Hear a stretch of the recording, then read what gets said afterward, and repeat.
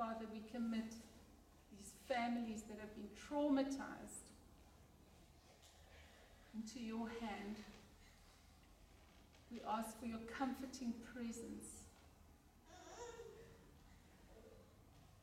We ask for your grace and mercy.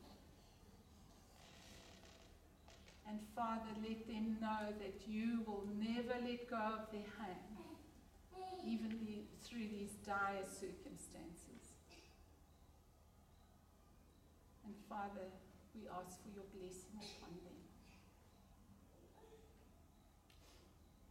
Amen. the song that we're going to sing now, and you're welcome to leave, um, is called Today I Choose to Follow You. Today I choose to give my yes to you. Today I choose to hear your voice and live. Today I choose to follow you. As for me and my house, we will serve you. As for me and my house, we will spend our lives on you. Be blessed. Look to Him. Enjoy fellowship. Enjoy each other. And go in His name. Amen.